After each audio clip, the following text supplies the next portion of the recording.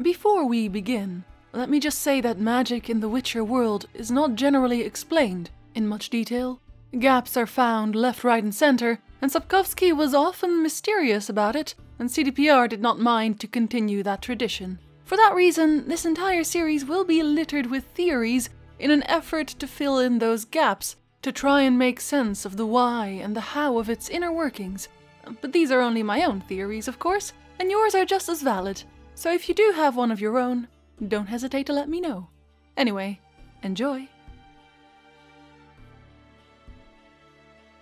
Magic is chaos. It can represent nightmares, fear, and unimaginable horrors, destructive powers, the forces of pure evil. They can destroy both the user and the world if used badly. It is a curse and will eventually be the world's undoing. Magic is art, capable of creating beautiful and extraordinary things, work worthy of admiration that betters the world around them.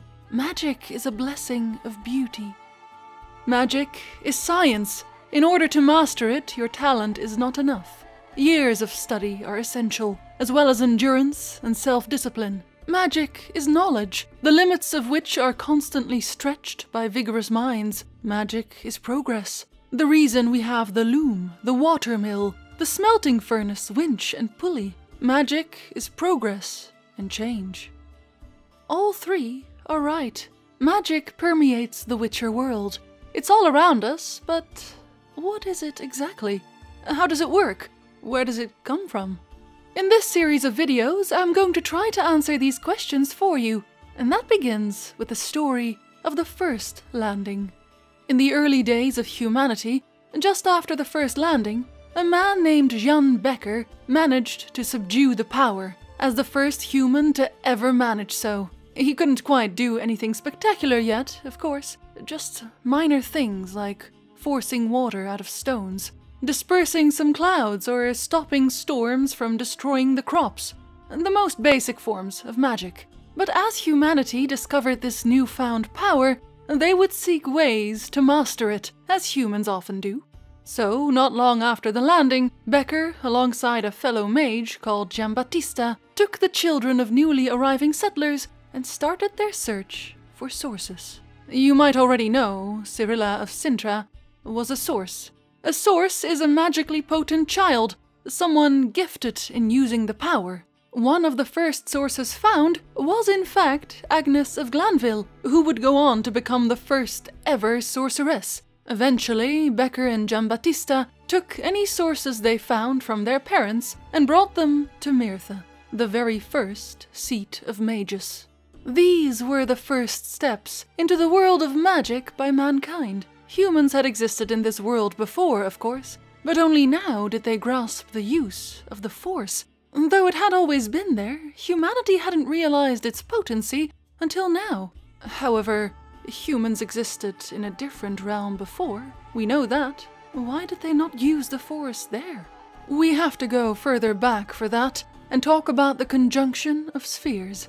Before the conjunction of spheres ever happened, the known world of The Witcher was inhabited not by humans, but by gnomes, dwarves, and eventually elves. The elves were technically visitors as well, as they had only come to this world through magical travel themselves. However, as far as we know, they were the only ones capable of powerful magic at the time. Eventually, one faction of elves left that world once more, and one faction stayed. This separation would prove to be permanent, because sometime later the conjunction of spheres took place. This event caused mayhem across every world. During the conjunction, several parallel universes collided. Imagine each realm in existence as large bubbles, and those bubbles crashing into each other. The creatures from one world would quite literally get knocked out of their bubble and into another world by the thousands. At the same time, more worlds were created in this process. Whether that happened because each world was torn apart or through magic, none can tell. But though more worlds opened up, at the same time, the doors to those worlds closed. Because it is important to note in all this that before the conjunction, it was possible to travel from world to world quite easily, at least easily for elves. It only required a little talent and skill. After the conjunction, only very few chosen individuals still had the power to travel from world to world. Chosen individuals, like powerful Aen Saevherne, elven sages, Cirilla of Cintra, or the magical unicorns that now inhabit Tir na Lia, the land of the Aen Elle. So it is quite clear that the conjunction of spheres did far more than to merely change the population of certain worlds. No, it affected magic as a whole throughout existence. Most notably, humans gained magic, and the elves in the Witcher world seemed to lose it to some extent. Let me explain that. Humans, as we know, had no business wielding magic before the conjunction of spheres, of course, but elves did. In fact, they were immensely powerful. One example of that power and the subsequent loss of it we find in the Aguara, fox demons, when Geralt meets this creature during the season of storms, she tells him this. Once we had great powers, illusions of magical islands, dragons dancing in the sky, visions of a mighty army approaching city walls. Once, long ago. Now the world has changed, and our abilities have dwindled, and we have grown smaller. There is more vixen in us than Aguara, but still, even the smallest, even the youngest she-fox, is capable of deceiving your primitive human sense with an illusion. Curious. As you may know, Aguara did not spring into existence from thin air. In fact, they don't even reproduce normally. They abduct elven children. So while this is not necessarily confirmed directly in the books, Aguara were very likely elves at one point. Elves that chose to give up their beautiful elven forms and in turn could keep their powerful magic. But even if we are unwilling to accept that Aguara were once elves, there is another lead to point towards the loss of magic, Aen Saevherne. Among the Aen Seidhe, the only known elven sage left is Ida Emean, an elf from the Blue Mountains, where they keep well away from humans whenever possible. When we look at the Aen Elle, however, we have quite a few. Outside of Avallac'h and at one point Oberon, we find a report in Tir na Lia that states the following on dealing with the White Frost. The sages sent to handle the matter in the field have merely succeeded in delaying the advance of the White Frost, which slowly yet surely engulfs more and more territory. So, they sent a group of sages, not just one, to attempt to halt the White Frost so we can at least reasonably expect there to be quite a few Aen Saevherne among the Aen Elle. A strange discrepancy to be sure, not to mention that elven mages in general seem to be few and far between in the Witcher world. In large part because there are so few elves left, but for a race so magically potent from the very beginning, it doesn't make sense. Now, I have several theories on the cause of this problem, but the one I've settled on, at least with the information we have right now, is the closed door theory. When Yennefer was in the middle of teaching Ciri about her magical abilities, she told her about the basics as well the properties of magic, the elements. To be precise, she tells her this The earth which we tread, the fire which does not go out within it, the water from which all life is born, and without which life is not possible, the air we breathe. It is enough to stretch out one's hand to master them, to subjugate them. Magic is everywhere. It is in the air, in water, in earth, and in fire. And it is behind the door which the conjunction of spheres has closed on us. For us. You know that, don't you? You have already felt the touch of that magic, the touch of the hand from behind that door. So, five true elements in total fire, air, water, earth, and whatever is behind the door. So, what is behind the door? In ancient Greece, and quite frankly, many other civilizations throughout the ages, the elements were already listed as such. The five basic elements, of which four were physical, the ones I just named, and the fifth would generally be named different things, from spirit to ether to simply the fifth element. We'll stick with spirit for now. In strength, spirit was always noted as the most powerful. In the pentagram, which often represented the five elements as well, spirit was the top center part of the star, because unlike the physical elements, spirit had no equal. and no rival. And this is mirrored in the Witcher world as well, where each plane of the elements opposes their opposites. Merides oppose Ifrits, and so on. And when we look at the Elder Blood abilities showcased by Ciri, where would they fit in the spectrum of elements? Spirit would be the most fitting by far. Time traveling, world traveling, prophesizing. So, what does any of this mean? Well, Yennefer noted that the conjunction of spheres closed the door of spirit to the world, but to Ciri it reached out its hand. The door is not completely closed, but the magic only seeps through, and only the most potent of sources have the ability to use its power. But what a strange concept that is, isn't it? A closed door. As we read in the books, magic is everywhere. Mages draw from veins or intersections of magic to cast their spells. That's how it's always been. The veins are always marked by an element water veins, earth veins, and so on. To find such an intersection, one must simply focus on them. They're generally marked by things like dried up trees or gnarled plants. Most animals avoid them too, except for cats and dragons, who are somehow able to absorb the force. And certain places are very active in the power, such as the Temple of Melitele, which is exactly why it was built there in the first place. Having veins for the physical elements makes sense. Magic does seem to be a part of nature, almost. But having spirit veins? No, that's never brought up. Yennefer only ever speaks of the physical elements in terms of drawing on intersections, nothing else. But she does bring up this fifth source of magic to Ciri, so where does spirit magic come from? And why did the elves start to weaken in magical potency when the door to this source was shut? Why only the Aen Seidhe but not the Elle? Now, again, bear with me here, because, as I said, not much about magic is explained throughout the books, so all we have is speculation, and we're about to theorize rather heavily. In the Witcher world, there are plenty of non religious people who believe that the gods and goddesses of the world, such as Freya or Melitele, are merely a way for simpletons to explain the forces of nature, or in this case, magic.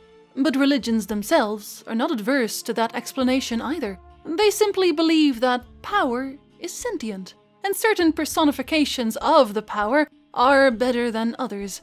Nenneke tells Geralt that to her, Melitele embodies order, law, goodness, and hope. But here's the catch. We know for a fact that, at the very least, one goddess exists, and it is very likely that Freya and Melitele are the same being, worshipped by different religions. So, how do we know this? Well, we get two confirmations throughout the books. First of all, the Brisingamen. At one point in her quest to find Ciri, Yennefer requires a large diamond to power her megascope. Without access to one, she is forced to travel to the Temple of Freya to ask the priestesses there for a gem, called the Brisingamen. An enormous jewel stuck in the necklace of a statue of Freya. The gem is impossible to remove, as it is simply a part of the statue. However, the priestesses agree to pray for Yennefer and Ciri in order to find a different solution or perhaps a way to help her. Yennefer, though not expecting much, stays in the temple with them, not joining their prayers, but falling asleep instead. In her dreams, she meets a woman who took on the appearance of the head priestess, but her eyes are glowing as if molten gold.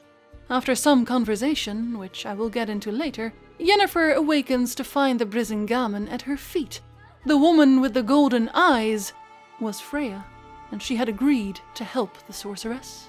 Similarly, when Ciri enters the Tower of the Swallow, she has several visions, one of which is that of Iola I and Mother Nenneke, two priestesses of Melitele, kneeling before an altar, their eyes staring, their faces twisted in a grimace of horror. Ciri wondered what they were seeing past or future, truth or lie. Above them both, Ciri sees the outstretched hands of a woman with golden eyes. On her necklace, a diamond shining like the morning star. The same image as Freya who appeared before Yennefer, and in both cases, Matters of the mind were involved. Freya visited Yennefer in her dream and spoke to her. Melitele in a vision where she sent Iola and Nenneke a look into the future. And in both cases, it seems this goddess can appear wherever she likes. For simplicity's sake, Let's call her Freya, as that is clearly the goddess she is based on. So, gods exist, and they most certainly possess great power. There is little doubt in my mind that they can travel beyond realms, beyond time as well. I believe that the source of spirit magic is Freya and her realm. So, how does this work exactly, and why does it affect elves so much? We'll dig a little deeper to answer that question and take a look at the source of all magical energy in any form and sense the elemental planes. The four elements from which mages draw their power, commonly called the natural forces, are of course air, water, fire, and earth. Each element has its own dimension, which is called a plane. Unfortunately for us, these worlds are beyond our reach. They are instead inhabited by what are usually referred to as genies, each with their very own personality, usually a very spiteful one. And each plane has their own type as well. Jinns for air, Marides for water, Efreet for fire, and Dao for earth. Now, in the words of the venerable priest Krep, a genie like this, Mayor, is a living reservoir of magical energy. A sorcerer who has a genie at their beck and call can direct that energy in the form of spells. They don't have to draw the force from nature, the genie does it for them. The power of such an enchanter is enormous, close to omnipotence. And after a short interruption, he continues. The enchanter Stammelford, interrupted the priest, once more taking on the tone and poise of an academic lecturer, once moved a mountain because it obstructed the view from his tower. Nobody had managed to do the like before or since. Because Stammelford, so they say, had the services of a Dao, an earth genie. There are records of deeds accomplished by other magicians on a similar scale. Enormous waves and catastrophic rains are certainly the work of Marides. Fiery columns, fires and explosions, the works of Efreets. Whirlwinds, hurricanes, flights above the earth, muttered Geralt. Geoffrey Monk. Exactly. I see you do know something after all. Krep glanced at him more kindly. Word has it, old Monk had a way of forcing a jinn to serve him. There were rumors that he had more than one. He was said to keep them in bottles and make use of them when need arose. Three wishes from each genie, then it's free and escapes into its own dimension. So that's how genies work, supposedly. Endless reservoirs of their respective elemental energy, able to use it in mass quantities at will. In essence, that makes genies the rulers of their own realm. The elements come to life. Gods, if you will. Freya would simply be a genie from the spirit realm, a very powerful one at that, and not a spiteful one either. She's benevolent. She extends her hand to the mortals that crave her power, from wherever her realm may be. And magic as a whole, the intersections we find throughout the world specifically, are a part of Genie's realms seeping through to ours. Important to note as well is that Freya, while with Yennefer, takes the sorceress to what I believe to be her own realm, the realm of spirit magic, as she bids Yennefer stretch out her hand and use that magic. You desired my jewel, Yennefer. I cannot give it to you without first making sure of a few things. I want to check what is deep inside you. Therefore, I have brought you here, to this place of power and might from time immemorial. Your priceless magic is apparently everywhere. Apparently, it's sufficient to merely hold out one's hand. Are you afraid to hold it out? Now, obviously, magic in this sense has always been a part of this world, because elves have been able to use it before humans ever set foot on these shores. The spirit realm, at a point before the conjunction of spheres, was open to all as well. As Yennefer notes, it was only closed afterwards. Somehow the conjunction sealed these intersections connected to the spirit realm and closed off that source and type of magic to those in the Witcher world. It tore the link asunder, so to speak. From that point on, the only way for a regular person to utilize the spirit side of magic would be through direct intervention of a genie of that realm. In this case, Freya. Perhaps not only her, of course, but as we see her directly intervene in human affairs, it's likely her most of the time. It's also noteworthy that priestesses are, in fact, capable of using a form of this spirit magic through prayer. and mages have no clue how they do it in the first place, which leads me to believe that this is again only guided by Freya directly, in Yennefer's words. But they're capable, when they want to, of using the power, at times just as well as we sorceresses. It's still a mystery how they do it, without any preparations, any learning, any studies, just prayer and meditation. Divination? Some kind of auto hypnosis? That's what Tissaia de Vries claims. They absorb energy unconsciously, in a trance, and they acquire the ability to transform it into something like our spells. They transform energy, treating it as a gift and favor of the Godhead. Faith gives them strength. Why have we sorceresses never succeeded with anything like that? And shortly after, she is visited by Freya herself. Sorceresses can't utilize this magic because they weren't given the option to by the spirit goddess herself. And this brings us to our next point elves. As I said, their magic seems to have weakened in the Witcher world. So why is that? And what's going on with the Aen Elle? Well, let's talk about that next time. After having discovered magic as a source of great power, humanity quickly realized that it would have to be regulated properly some time passed since the first discovery, and during the Novigradian Union, Bekker, Giambattista, and Monk, all three powerful mages, signed a pact with the rulers of those lands, the priests and the druids. A pact of non aggression that would separate the state and magic. But however well human mages were progressing in their art, what they truly needed were teachers. And so, in search of knowledge, Geoffrey Monk set off to travel the Pontar River, known then as Avon Pont Agvenellen, the river of alabaster bridges. He took with him a group of gifted children and visited the elven mages of Loch Muin. He pleaded with them for help, to teach the children everything they knew, and the elves agreed.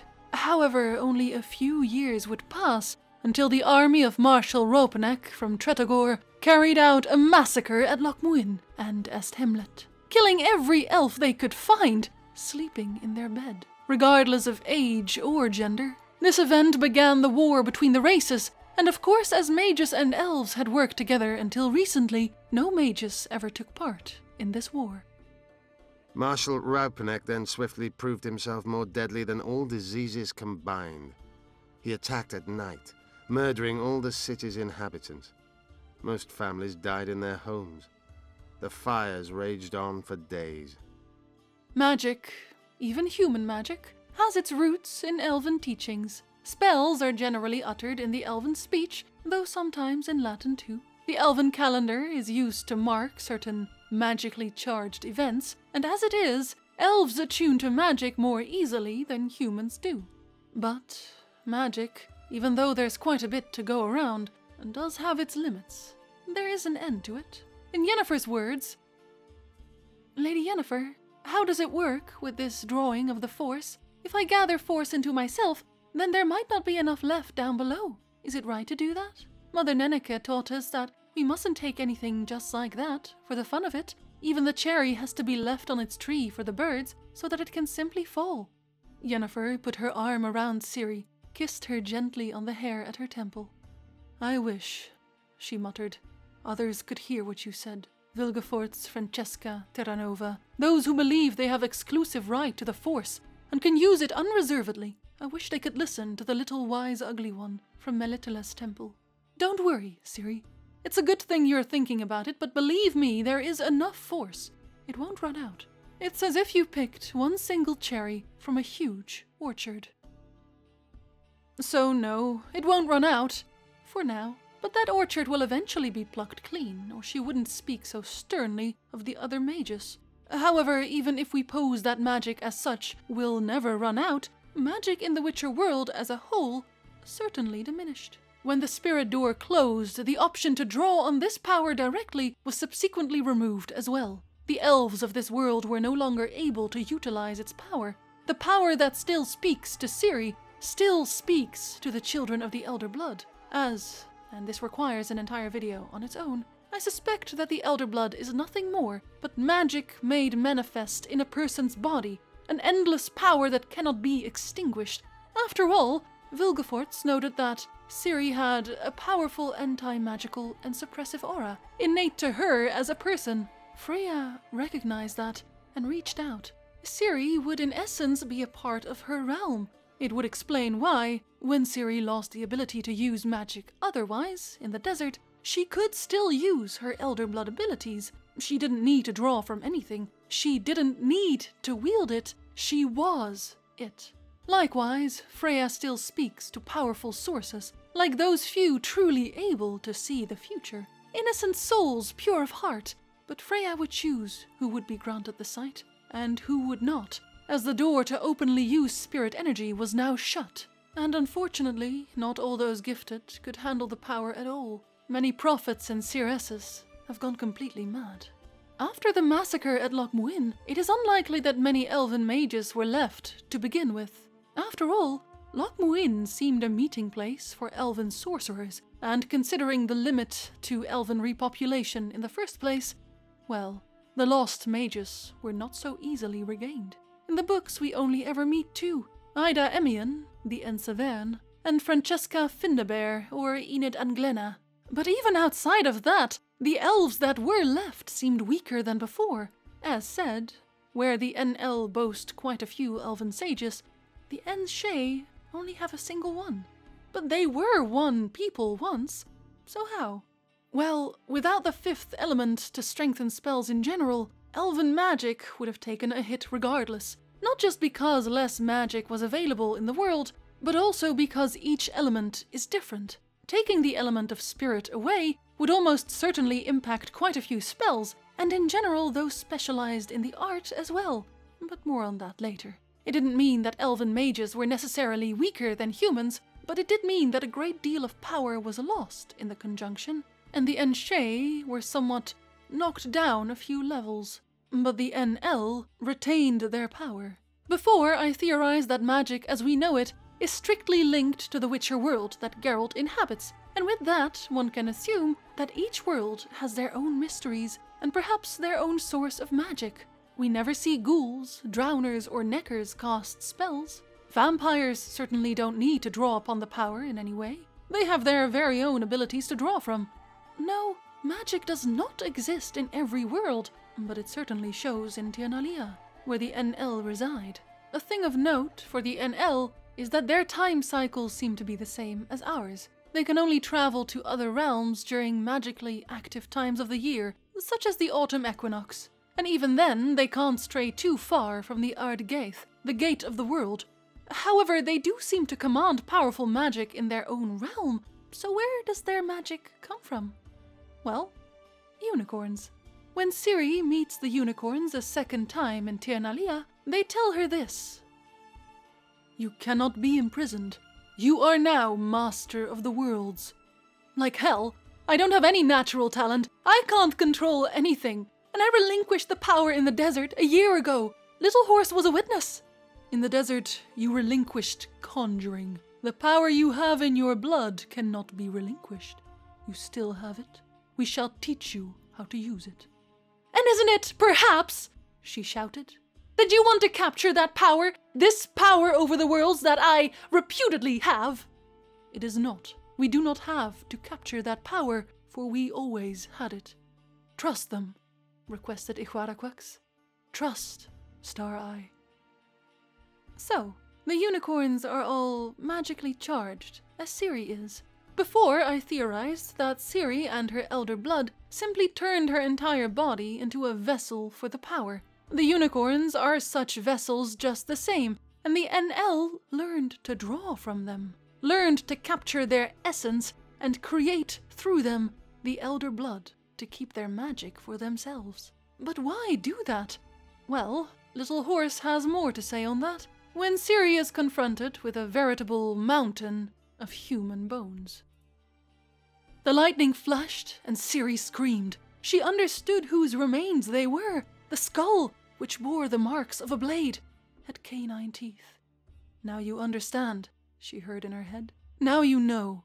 They did it. The Aen Elle the Elder King, the fox, the sparrow hawk. This world was not their world at all. It became their world after they had conquered it. when they opened Ard Gaith, having deceived and taken advantage of us, just as they have tried to deceive and take advantage of you.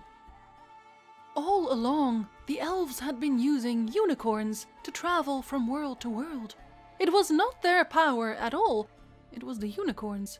Elves like to pretend that humans had destroyed their own realm before they were thrown into their current one during the conjunction of spheres. But it is far more likely that Tir na Lia was the original human realm. And once invaded by the horde of unicorns and the Aen Elle, they lost it. This would explain why humans first came into contact with magic after the conjunction.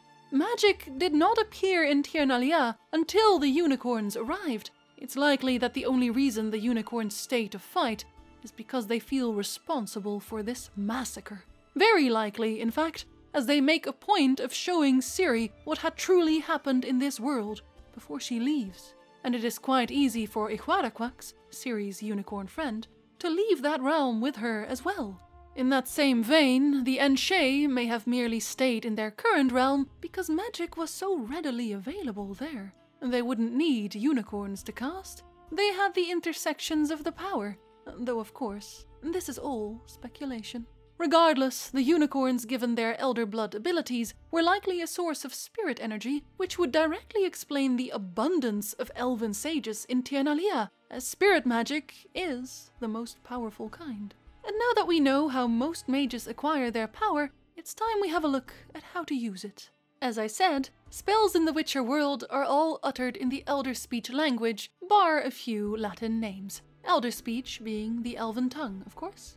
Alongside the actual words, most mages will then use hand gestures to activate the spell. However, it is important to note that, in general, gestures are enough to cast a spell as well, as long as the mage in question is powerful enough. In fact, even though the elves have certainly lost some of their magical prowess, they are still clearly more magically active than humans. As the elven way of casting is almost always wordless, they merely use a gesture which means the movement of one's hand is the most important part of spellcasting, and it's hardly as easy as it sounds.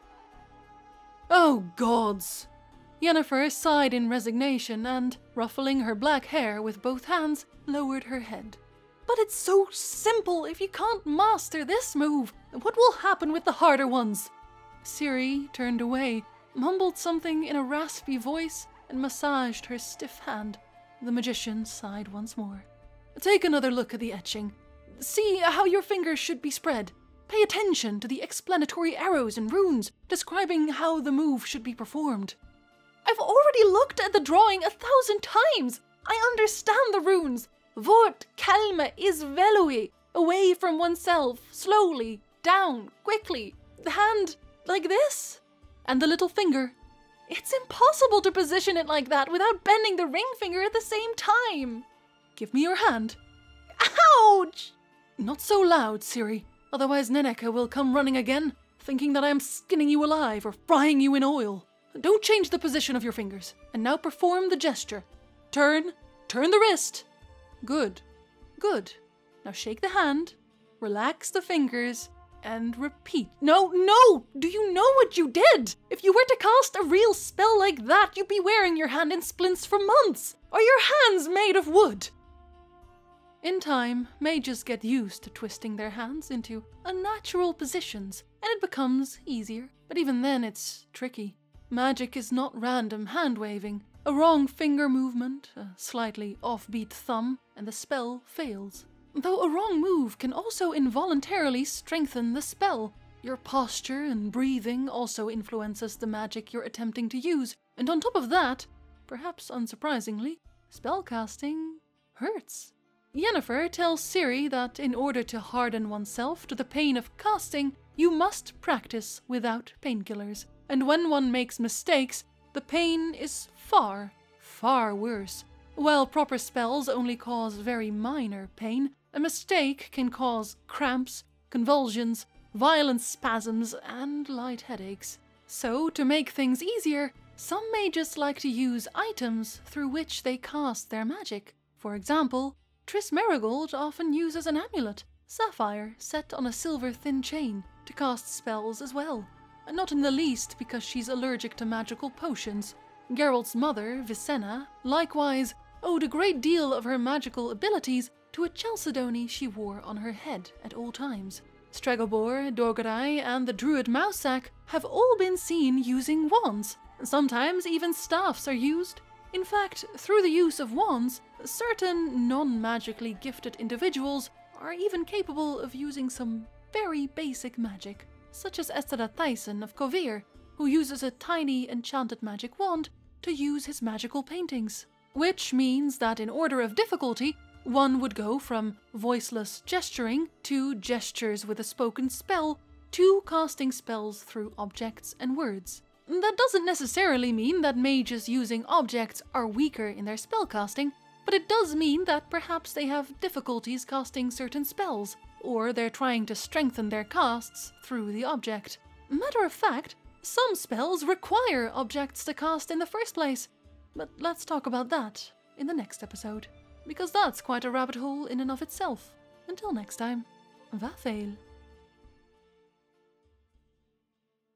While politics and magic were at this point separate entities, that didn't mean mages didn't interfere in the ruling of their new home. Humans, as they do, so love to quarrel, and it took the intervention of Raffard the White to end a feud between the human kings of old and mark the end of six years of war.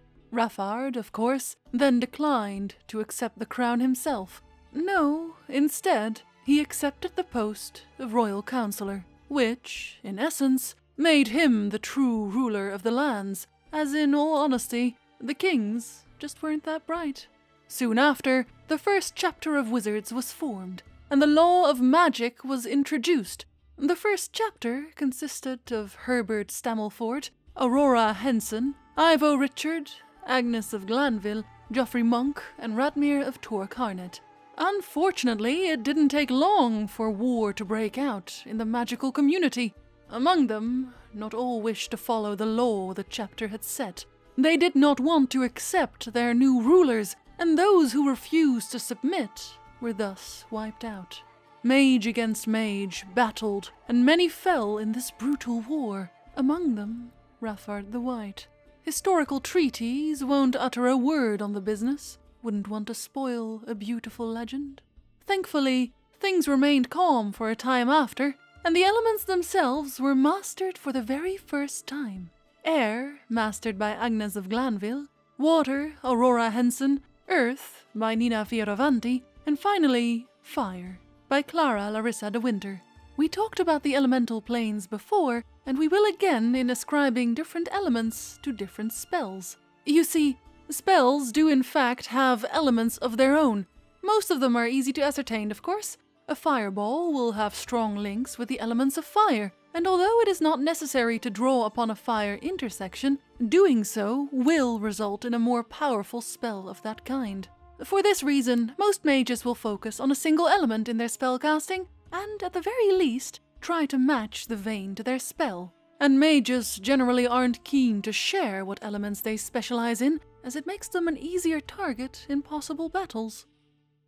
The chamber he was led to wasn't typical of the rooms where sorcerers usually received applicants. Usually, Geralt was well acquainted with the custom, mages gave audiences in large rooms with very formal, often severe and cheerless decor. It was practically unthinkable for a sorcerer to receive anybody in a private, personal room a room able to provide information about the disposition, tastes, and predilections of a mage, particularly about the type and specific character of the magic they made. In choosing your desired element, it's important to know what each represents and what it can do. Water is the easiest element to master. Earth requires more power, air requires more skill, and fire is a dangerous element all on its own as it tends to lure the mage to destructive tendencies. A perfect example of a fire specialized mage would be Vilgefortz, who was very likely the most powerful mage to have ever lived. The problem with fire is that it is naturally violent. When Ciri attempted to draw the power from fire while stuck in the desert with no food or water, she nearly succumbed to the flames. It tried to talk her into destroying everything and everyone she had ever loved, because eventually they would all betray her. Ciri could only make the voices stop after renouncing her magical abilities altogether, giving up her power outside of her innate Elder Blood abilities. Let it burn, Falka! Let it all burn! Go away! Be gone! I don't want you! I don't want your power! Let it burn, Falka! Let it burn! I don't want to! You do! You desire this! Desire and lust seethe in you like a flame. Pleasure is enslaving you. It is might. It is force. It is power. The most delicious of the world's pleasures. Lightning, thunder, wind. The thudding hooves and neighing of unicorns, galloping with abandon around the fire. I don't want that power! I don't want it! I relinquish it! So, each element has different properties that affect magic differently, such as water, which is used for divination, for example. You couldn't necessarily use Earth as a conduit through which to see the future. Perhaps an extremely powerful mage could, but due to the nature of the element, it would be extraordinarily difficult to achieve, and in the end, quite a pointless endeavor, because you could just use water. Likewise, there are several spells that I would categorize under spirit based magic that would prove especially cumbersome to cast. Among them, portals. Because portals are not actually as easy to cast as you might think, not to mention the fact they have limited range. For example, to reach Vilgefortz for a meeting at his castle, Tissaia of Rhys had to travel through three separate portals, and on top of that, they're not always safe. Sometimes people get ripped in half instead or they just disappear entirely. I hate portals. If those around you are especially unlucky and the portal collapses in the process, it explodes with a bang and bursts the eardrums of everyone in range. Elder Blood portaling, on the other hand, which I theorized was simply a powerful use of spirit magic, even when used by an unpracticed source, does not tend to result in any such disasters. Not to mention, their range does not seem to have a limit. However, not every type of magic seems to have an easily discernible type. Some people have innate magical abilities. Regular humans can activate magical items. And then there's curses, of course, blood magic, and necromancy. So where do those fit? Well, plainly, magical items are simply enchanted, of course. They already have an active spell attached to them and will only perform these very basic functions, such as Esterad Thyssen's golden wand, which he uses to hide his political maps. Sometimes entire dimensions simply consist of one gigantic woven spell. Think the magical fairyland in Toussaint, which was created solely by a spell cast by Artorius Vigo. I have Nehelenese going wild. Whole land's an illusion. It's so powerful there's no way to dispel it. But those spells eventually deteriorate, so Esterad would have had to buy new wands every so often or hire a mage to keep the enchantments active. Likewise, a crystal ball, which you may think is a staple of magic, is a very easy to use communication device. A single crystal ball communicates only with a different ball that's attuned to it. Even the dwarves at the bank can use them. Whereas a megascope, for example, fills much the same role, but much more elaborately. It is, of course, a lot more difficult to use for that reason. It requires a diamond with a rosette cut, and the bigger the diamond, the bigger the reach of the megascope, so you can contact people from further away. And no, that person does not need to be in possession of a megascope either. Although it needs to be said that once a megascope has been activated, it stays active for a while longer after use, seeing as Geralt and his Witcher buddies were able to use Yennefer's megascope quite easily, without proper spellcasting. Now, I'll do the talking. You two fiddle with the crystals. Kedmil blood edwan hocus pocus abracadabra arsplatha. Innate magical abilities, on the other hand, are a curious thing. We posed before that much of the soothsayer abilities are likely linked to Freya in one way or another.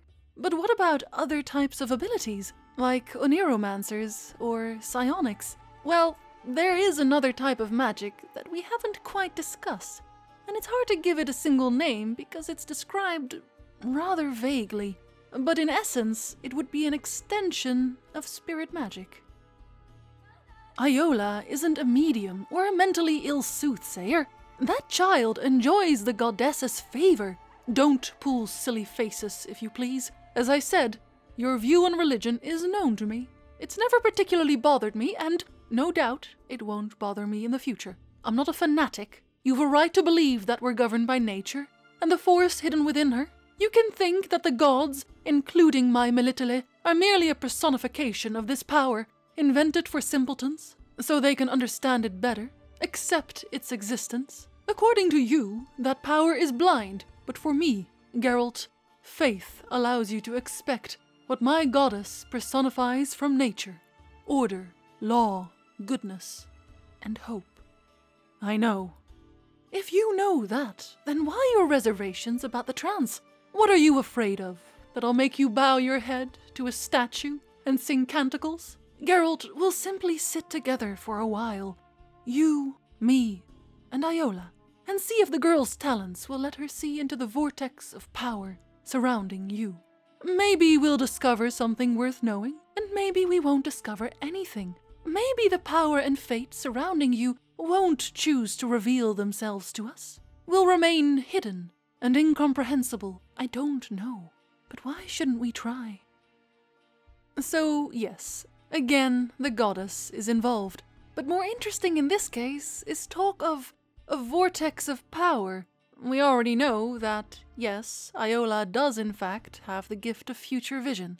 When she touches Geralt's hand accidentally, she is thrown into a vision of his future death by accident. So this wouldn't be the first time she'd participate in a trance like this. And Nenneke, as a person, is not stupid either. She wouldn't suggest it if it hadn't worked before. If each person is in fact surrounded by their own energy, in which the future is hidden, there is no reason why Oniromancers and Psionics couldn't simply take advantage of that. In the books, the only psionic we meet is Kenna Selborne, or Joanna, and she is also described as an HPS, and that, even in the real world, is short for highly sensitive person. So a psionic is simply someone who is exceptionally sensitive to a person's mind, to the point of specialized mind reading, but no other forms of magic. An oniromancer would then be someone capable of reading a person's aura from afar, though only through their dreams. After all, dreams most certainly have magical aspects to them as well. There are many species of harpies, and all are kleptomaniacs, though some steal dreams instead of trinkets. They especially like dreams laden with strong emotions, such as nightmares that recur every night. The victims lose their dreams, which can actually be a blessing where nightmares are concerned. And the harpies encase them in crystals, creating items that strongly radiate magic. Mages desire the dreams these creatures steal. They are even known to breed harpies on purchase with a view towards filching their booty at daybreak. Yet it is rare for a dream or nightmare to be powerful enough or to come from a powerful enough creature to satisfy the desires of a mage. As I said, though, there are near to no facts given about this sort of magic, so all we can really do is speculate. In this case, the simplest explanation would be that dreams siphon their magical energy from the same aura soothsayers use, and oniromancers attune their minds to that energy. And finally, curses, blood magic, and necromancy. They all seem to fall in much the same boat, don't they? And they do, in a way. In more than one story, blood means power, and the Witcher world is no different. Blood magic is absolutely a thing, it just isn't used as long as it isn't necessary. As an example, the very first golem, magical servitors, was not created by a mage, but a simple dwarf from Maribor, named Bonaventura Sesto, a brickmaker. In Maribor at the time, non humans were accused of bringing an epidemic to the city, though it was, of course, untrue. It was, in fact, a human's fault. But, as usual, at first, humans started robbing non human shops, then arson and the occasional beating, until it escalated into a bloody pogrom. Humans went into the streets, murdering any and all elves and dwarves they could find during three days and three nights of slaughter as the guards looked on without care. They killed over 300 people, including the aforementioned dwarf's entire family. Driven mad with grief and thirsting for vengeance, the dwarf molded a 10 foot tall humanoid out of clay and then carved the names of the slain non humans onto it, along with a smattering of dwarven curses. Once finished, he slit his own throat, and when his blood splattered the gigantic statue, it came to life and started walking towards the city. His creation killed almost 500 humans including the mayor and the entire city council, before a ballista was brought out to take it down. The conclave later found that Bonaventura had possessed hidden magical talent, and through a torrent of powerful emotions at the time of his death, latent powers created the new spell. After some alterations, the creation of a golem now no longer requires one to sacrifice their own life, merely some ribbons with magical runes inscribed upon them.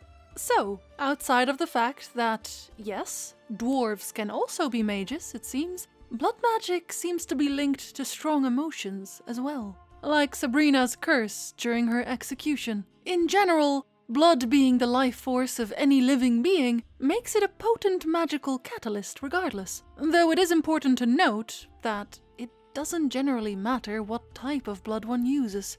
It's just another ingredient through which a spell is cast, it isn't a school of magic in and of itself, as proven by the fact that a golem can now also be created without it. So for now, at least, it seems that blood simply empowers a spell beyond its limit, or makes it rather easier to cast for those less potent in magic otherwise. And even pig's blood will do for many spells, it'll just be less potent. And given that, when casting spells too intensely or too often, in a short time frame, one's blood vessels can burst, causing a bloody nose. It's very likely that a mage's own blood is also actively a part of any spell they cast. The power surges through their body, after all, before being released into a spell. It's not strange, for this reason, that certain blood makes for better catalysts, which makes certain races better suited for spellcasting. For example, while they exist, dwarven mages are not exactly common, whereas elven mages, as we see in the Aen Elle and previously the large elven population of the Aen Seidhe before the massacre, are plentiful. Humans seem to fall somewhere in between, and of course there are a lot more humans out there that could potentially be a mage, due to their population rate, shall we say? And the widely spread elven blood does seem to aid in creating human mages. As was said, Yennefer, from her mother's side, had elven blood, and she is one of the youngest yet most powerful sorceresses currently alive. Not to mention that Vilgefortz seems to imply that, as Geralt's mother was a sorceress, that would make Geralt an ideal candidate for spellcasting as well. So, blood seems to be a catalyst, mainly, not a spell class necessarily. Curses and necromancy, then. What about those? Well, necromancy does not seem to need a curse, though walking corpses are often associated with curses. The only necromancy we ever witness ourselves, of course, is Yennefer's spell in Freya's garden. Doesn't look like the talkative type. Anyone can be made to talk, even a corpse. One must simply know how. Thought necromancy was strictly forbidden. So is premarital sex. But I'm not about to be bothered by such foolishness. In the books, it's only mentioned twice as well, and one of those times wasn't exactly in the best of ways. To think, snapped Yennefer.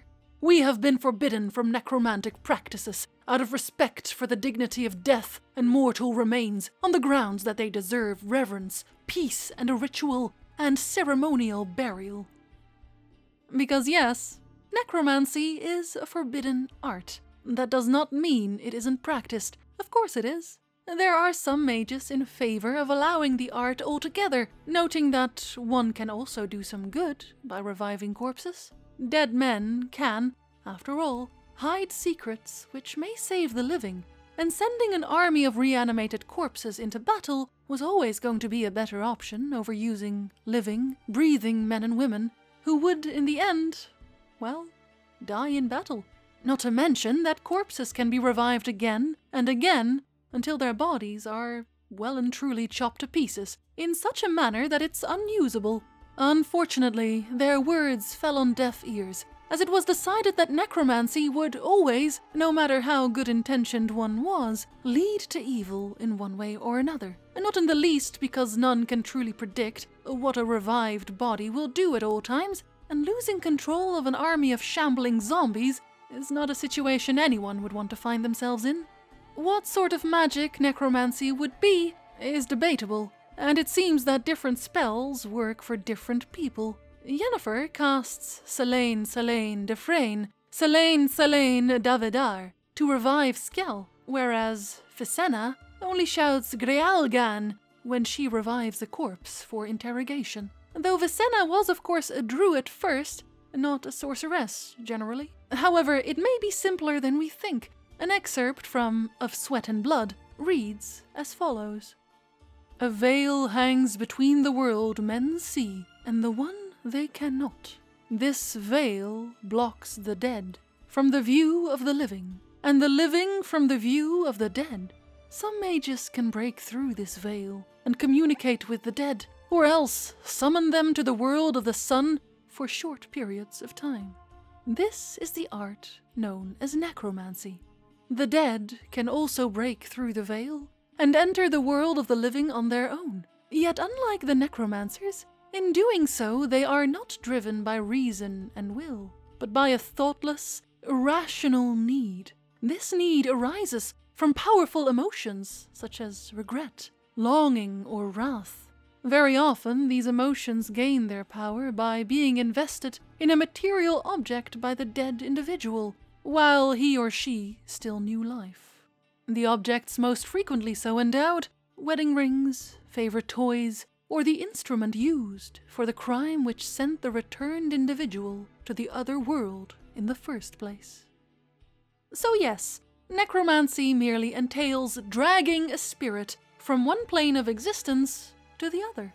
I say merely, but it requires a great deal of magical mastery still, and as it would seem, it's easier to reach a person's spirit if one's death was of the violent kind, as Avallac'h notes when he tries to use a magical lamp to contact Lara Dorren.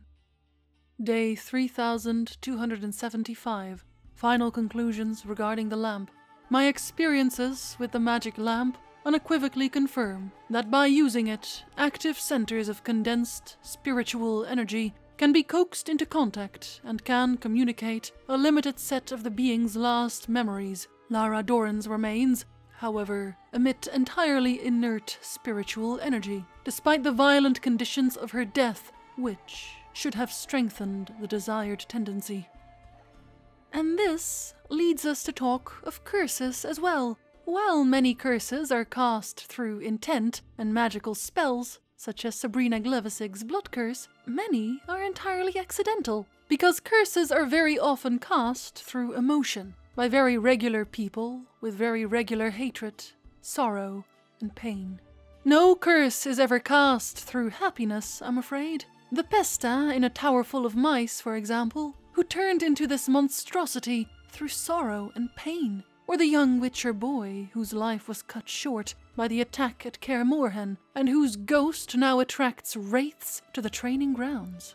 In the same vein, emotions can manifest themselves in the world of the living as monsters in and of themselves, such as wraiths, who are, in essence, a manifestation of the deceased's sorrow in not completing their tasks in life at their time of death.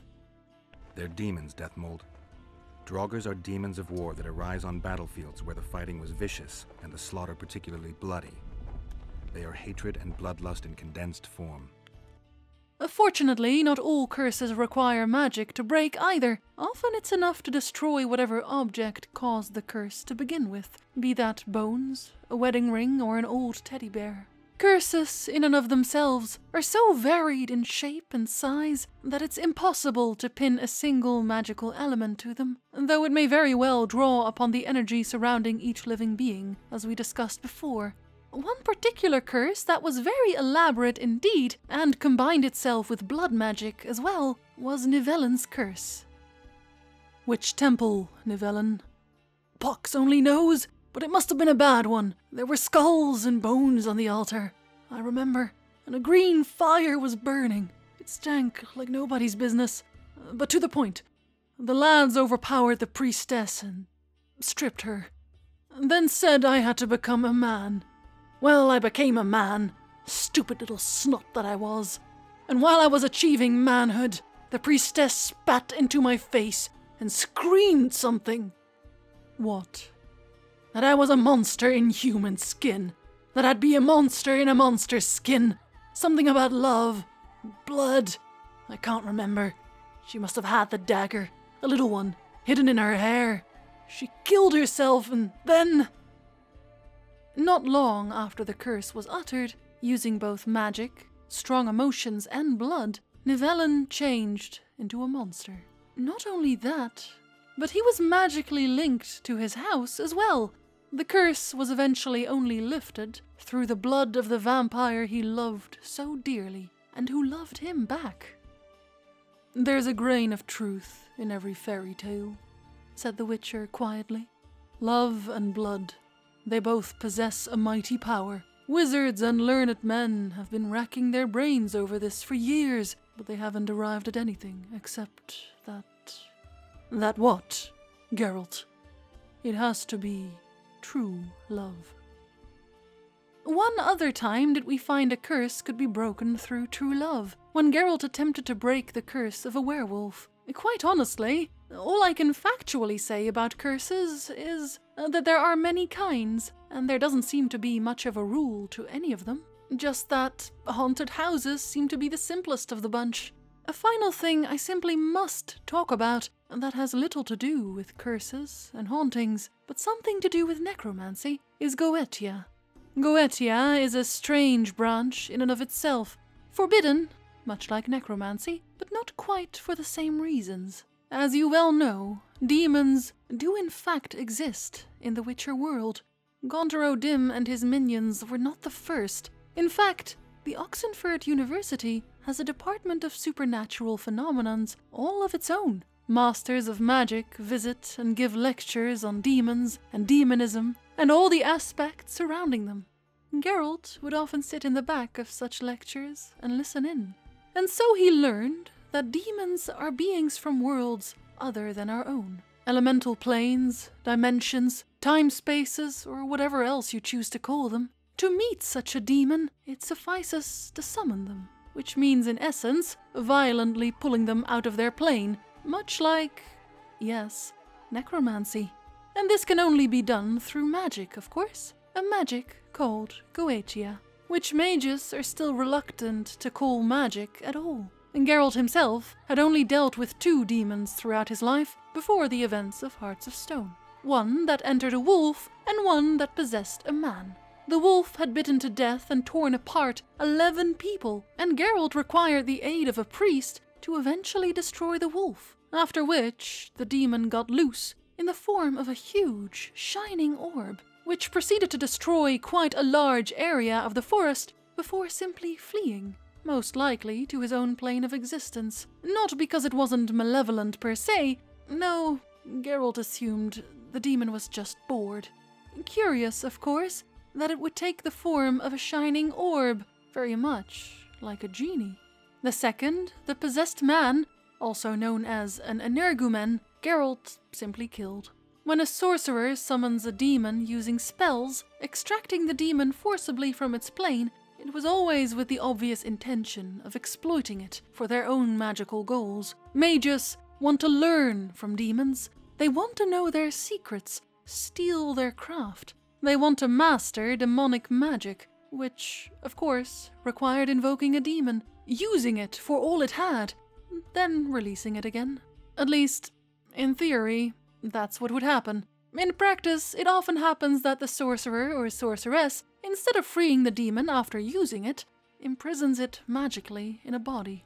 Mages are known for their love to experiment, after all, and Geralt speculated that some mages, like Alzur, the mage responsible in large part for creating witchers, practiced Goetia because they enjoyed watching a demon wreak havoc in a man's skin. Watching the killing and Geralt was likely right. As in fact one mage made it their life's work to find the perfect energumen to capture a demon in. Conclusion As I suspected, the Witcher is a superb energumen. A demon trapped in such an excellently prepared body will become death incarnate, vengeful wrath made flesh, and placed at my command. No one has succeeded in creating a being of such power since the time of Malaspina and Alzur. This is a great day for science. Time to begin the incantations. As said, Goetia is a prohibited art because it's extremely dangerous.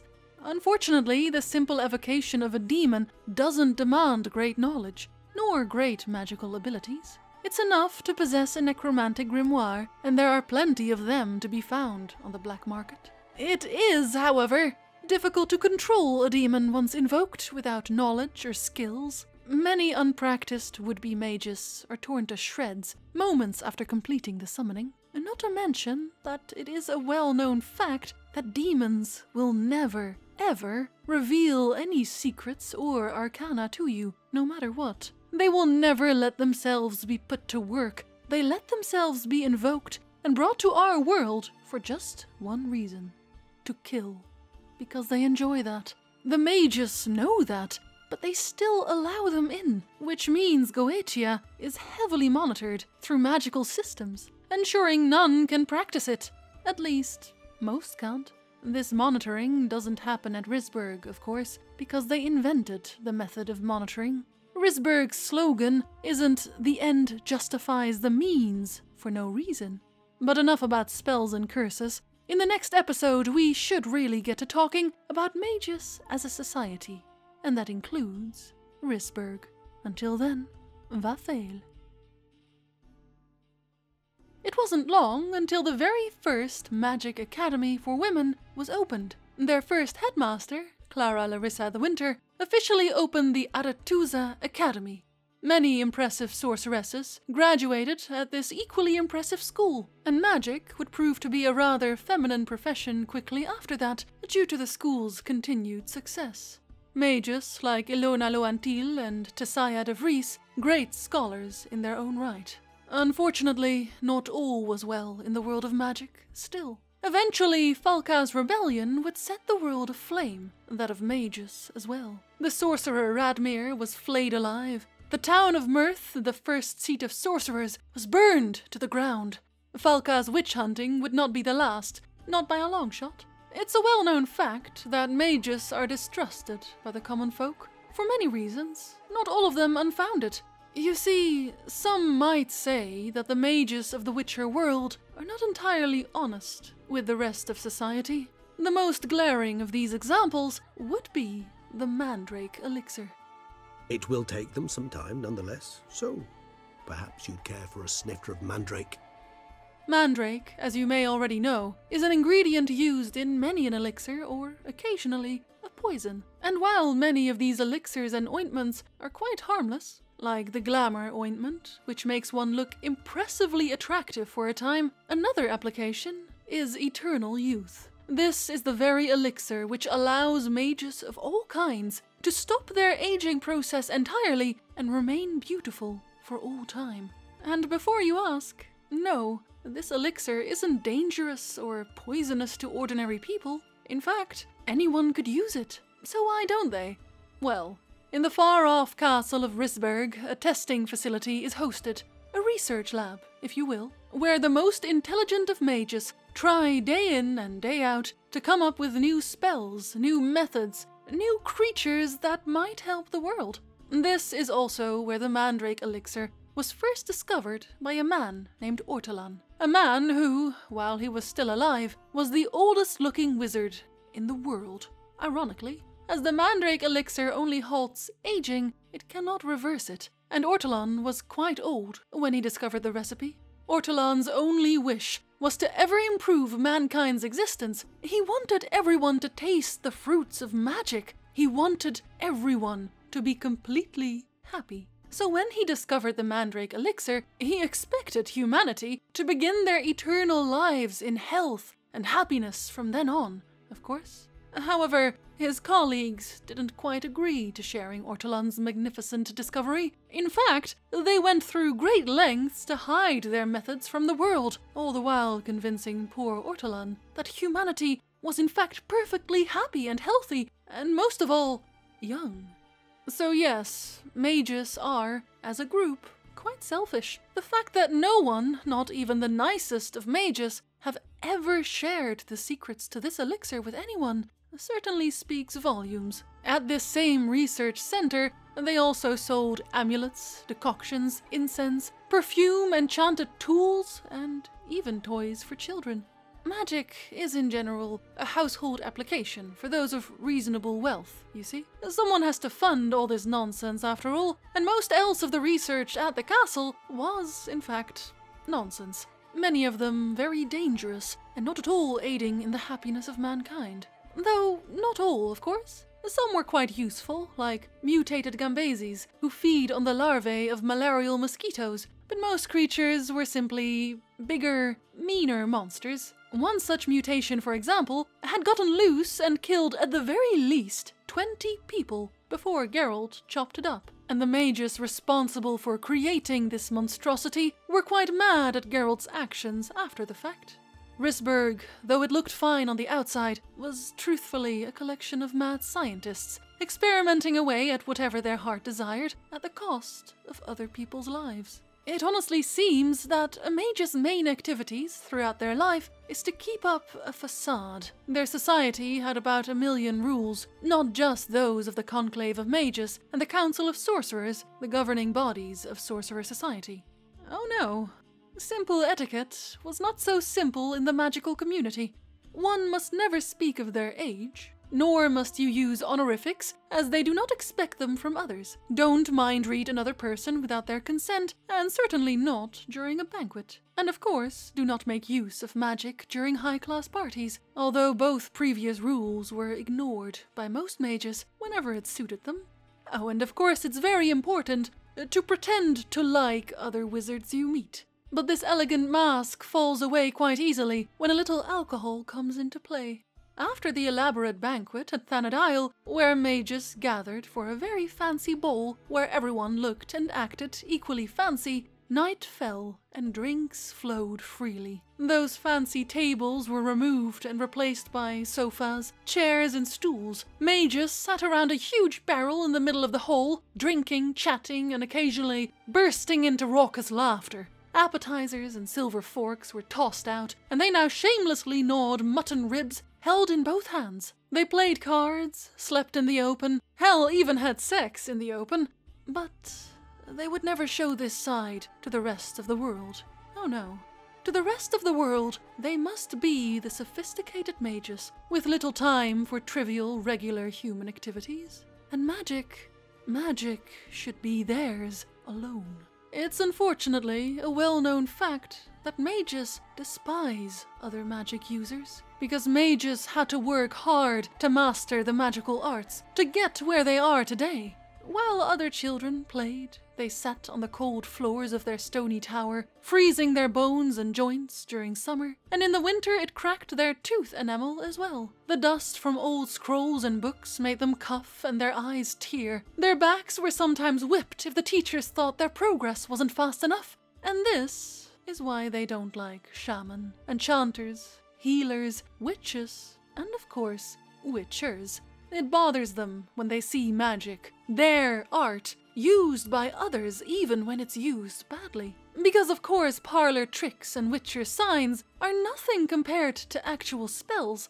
Signs can be cast with nothing but a small bit of concentration and a gesture, nothing more. This is why they are called signs. And this jealous guarding of the magical arts is also why they lie about more than just the mandrake elixir. They lie about blood magic, for example. As far as the world is concerned, you need the blood of a virgin maid to cast, quite frankly, any spell.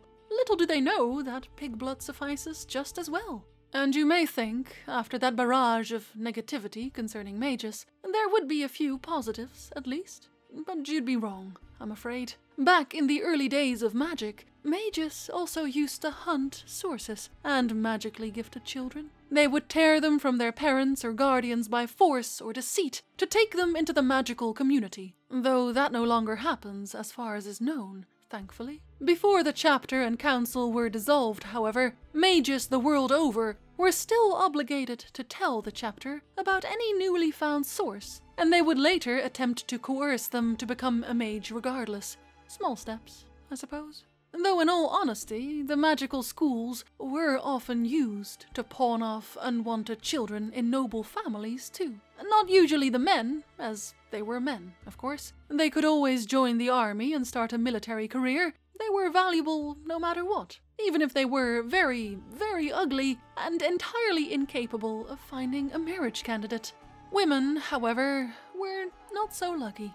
If a girl wasn't desirable enough to find a good husband, and thus provide some form of gain for her parents, the said parents would often cross their fingers that the girl was at least magically gifted. That way, they could ship her off to Aretuza, and they'd be rid of her. An entirely useless child otherwise. This child would cease to be a part of her family, and instead join the Brotherhood of Sorcerers as their new family. That wasn't as completely heartless and awful as it might seem, because quite frankly, it would be the girl's best shot at a decent life at least. Because even if you went to one of the wizarding schools, Aretuza for the girls or Ban Ard for the boys, and you failed miserably at the magical arts, you would still be able to choose a reasonably profitable career. Because despite the rather difficult entry exams required at each school, to filter out the completely hopeless cases, some still slipped through the cracks and received some schooling. Generally, those that truly didn't care to work hard enough to become a mage were the sons and daughters of wealthy people, and one couldn't just throw them out without difficulty. So instead, the boys would often join the diplomatic service, the army, navy, or police, while the stupidest individuals were sent to participate in politics. On occasion, the Kaedwenian Secret Service would also be waiting outside the school to recruit newly expelled students. Female magical rejects proved more difficult to place, of course. They had attended a magical school and tasted magic to some degree, and they couldn't rightly be left around to wander the world without guidance. And so, they mostly became lawyers.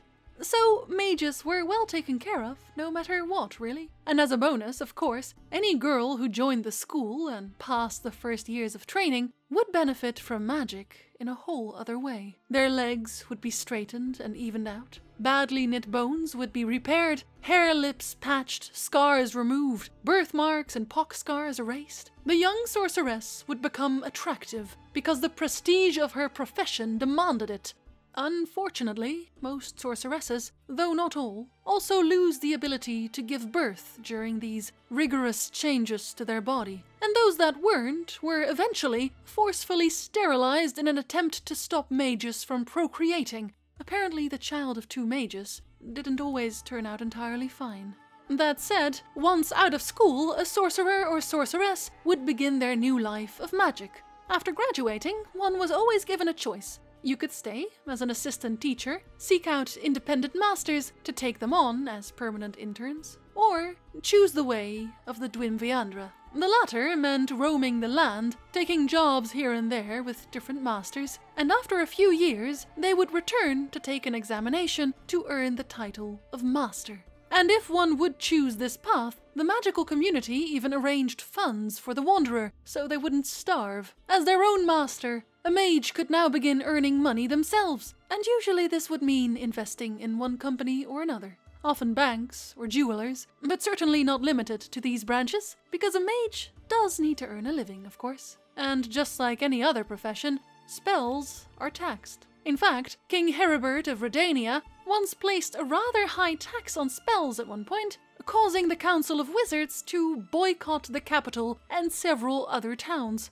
To build their initial fortune, mages can do all sorts of things, of course. Many a mage will lend themselves to a town permanently and take up residence there whilst being paid by the town's council or mayor. In fact, one man Geralt had the displeasure of dealing with was willing to pay the Witcher a hundred silver pieces just to leave their town's magician alone, because this was the cheaper option. So you can imagine the resident spellcaster wasn't exactly dying of poverty. Sorceresses could also make an absolute fortune in removing unwanted pregnancies from noble born ladies. This was something Yennefer did on occasion, for example, and because they were not just paid for their work, but also their silence, as men did not approve of this practice at all, it was a lucrative branch indeed. About as lucrative as curing infertility. On others, of course. Mages could not be cured so easily, unfortunately. But these practices in particular were so extremely well paid in part because not many mages wish to specialize in healing magic to begin with. So those that did always found work quite easily. In general, the non-magical community was quite alright with mages taking part in the day-to-day of society. In fact, in Loxia, Garstang, the people make a living in large part due to Aretuza being a part of their little town. Mages are quite literally the reason they're able to put food on the table every day, although this does seem to be the only reason they treat sorcerers with respect in the first place. Because the moment things went to hell, everyone turned against the mages. The moment they no longer served their purpose, mages were prosecuted. Because things did go to hell, of course. After the elaborate ball at Aretuza, a fight between two factions of mages broke out. One side, loyal to their northern monarchs, the other supporting Nilfgaard instead. Spells flew all over the place, and in the end, it left many a magician dead and Aretuza in shambles. The council and conclave that used to govern the magical community was completely destroyed, and mages the world over now casually ignored their previous rulings. And though Aretuza was still active as a school after the fighting was over, sorcerers were no longer trusted as they once were. Many of the mages previously sitting on royal councils were kindly asked to leave, and so a small group of influential sorceresses decided to create their own organization, known as the Lodge of Sorceresses. It was a group of all women consisting of mages from every corner of the known world. Led by Philippa Eilhart, it also included Triss Merigold, Keira Metz, Margarita Laux-Antille, Sabrina Glevissig, Francesca Findabair, Ida Emean, Asidova Anahit, and Fringilla Vigo. An unwilling Yennefer was also asked to join by Francesca, and Philippa meant for Cirilla of Cintra to become a member eventually. The latter two never wished to be a part of any of this, however, which put something of a wrench in the wheels of the lodge, as their main goal was to put Ciri on the throne of Kovir, and through her rule the world in the name of magic for the greater good. You can likely tell that's quite the lofty goal that didn't quite come to fruition. Though the Lodge achieved a few things of note, mainly influencing the peace talks of Cintra, their organization was dismantled when their plot was discovered at Loch Muin, where they had attempted to re-establish the Council and Conclave. And after the events in Loch Muin, mages were officially open season. They were dragged from their houses and thrown into the fires, their possessions seized, their hands cut off, to stop their spellcasting. Many discriminatory laws used for non humans were now also applied to mages. No one was safe. Not herbalists, not pellers, no one. While you were fighting Saskia, the city was staged to a bloody spectacle. The players? There were many. At first, it was a hunt for the traitors, but it soon turned into a hunt for all mages. And there were a few skirmishes between Kaedweni, Redanian, and Temerian troops. Rape, pillage, and murder. Not necessarily in that order. The pastimes of the Order's pious knights. And though it may seem that perhaps it's justified, after all, they seem quite selfish and callous. As with everything in this world, things are never so black and white. While it's true that the higher ups in mage society deem themselves untouchable and above the law, not all share that view. Some truly work to improve the fate of mankind. Many useful inventions were only ever made possible through magic. For example, mages invented the technology for steel mills and smelters, and yes, while many of these discoveries are driven purely by profit, that doesn't make them any less useful. Without mages, society as a whole would have their progress slowed to a crawl. Nilfgaard accepts mages as a necessity for this reason. While mages are not treated with much of any respect in the south, they are paid well, and most of all, they're not regularly burned to a crisp. Assuming they don't betray the Empire, of course. Even gesehen? Asira Varanahid. Me voldtocht en geherdwen. Me vertröv heten Bellengrik. Visiden ipkizeret, neten verbtene, heten Regardless, mages as a society are constantly threatened. Perhaps it's true that eventually, just like witchers, they will no longer be needed. If they are to keep their place in life, they'll need to create new spells, new uses for themselves, lest they become obsolete, outpaced by technology. Regardless, magic will always hold some mystery to it, even when it's long left this world.